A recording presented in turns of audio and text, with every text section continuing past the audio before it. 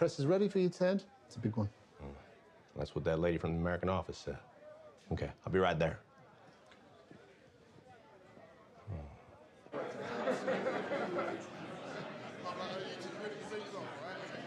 He's on his way. Thank you, Leslie. You gave Ted some talking points. No, I haven't done that in a long time.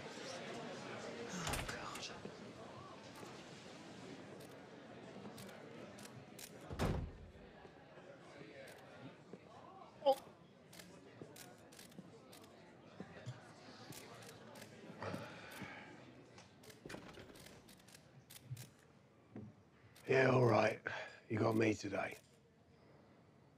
Any questions? Fucking hell.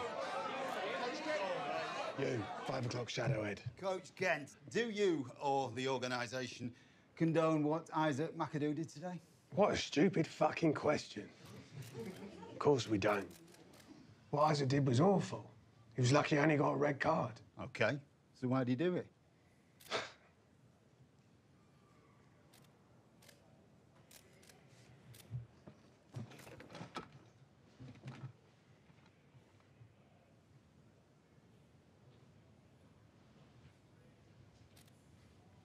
When I was first coming up through Sunderland, there was an old timer on the team, local guy.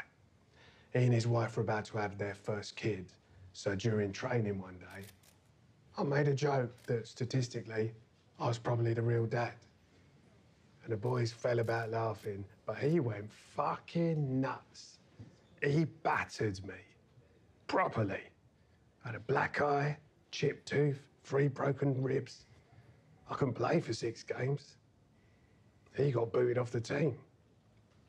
After that, no club would go near him. Then in the summer, after I could breathe again, I bumped into him in a pub and I got the chance to say sorry for my stupid fucking joke. And he got to tell me he and his wife had lost the baby a month before all that went down. But he hadn't told anyone. Kept it all inside.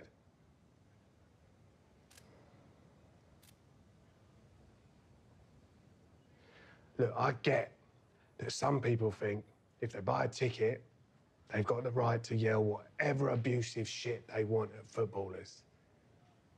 But they're not just footballers, they're also people.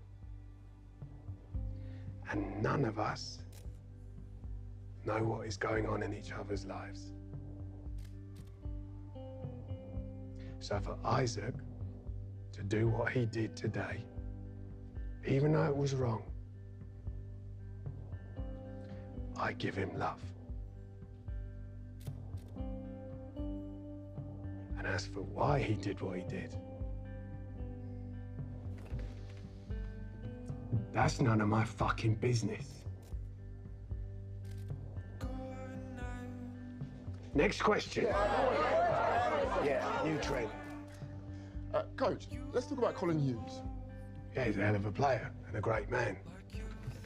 I think we've underused him. I think you're right. Glad we agree. I prefer you to old Trent. Next question.